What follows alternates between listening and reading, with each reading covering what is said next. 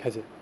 在执行前会先确会先跟使用者确认说是否目前机台在原点的部分。那假如目前在原点的话，就输入一，它就会秀出另外文字说，这目前机台它的全长是多少？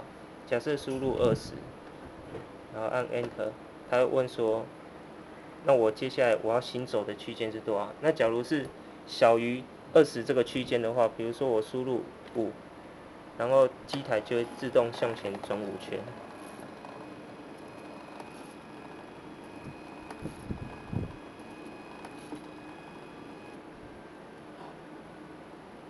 那今天假如说它不是在原点的话，我按二否，然后他会问你说是否机台要退回。那我按一四的时候，他会问我说要退回的距离是多少 mm。